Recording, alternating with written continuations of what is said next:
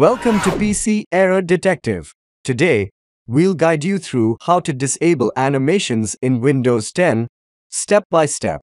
For more helpful tech tips, remember to subscribe to our channel. Step 1. Start by clicking on the search box and typing Control Panel.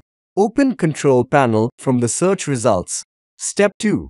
Inside the Control Panel, click or tap on the System and Security header.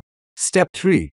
Next, locate and select the System header within the Control Panel to access the System Properties page. Step 4. From the left pane, click on Advanced System Settings.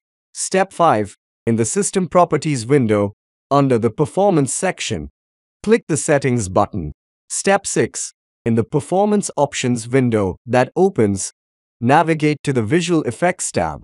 Here, choose either Custom to manually adjust settings or Adjust for best performance to disable all animations. Step 7.